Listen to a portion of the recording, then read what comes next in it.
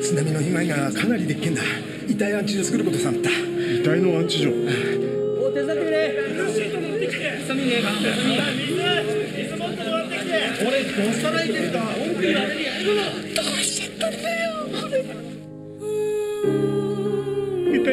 で働きたいんですけれども。DNA 鑑定のサンプル採取お願いします。遺体全部やるんですか？はい。8番欠損。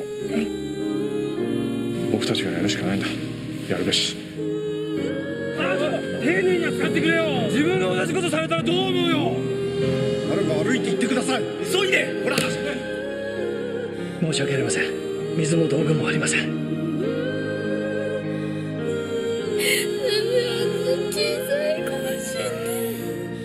一人で寂しいな。ああ頑張ったね。頑張った。今日こそお父さんとお母さんあんたのこと見つけてくれるといいね。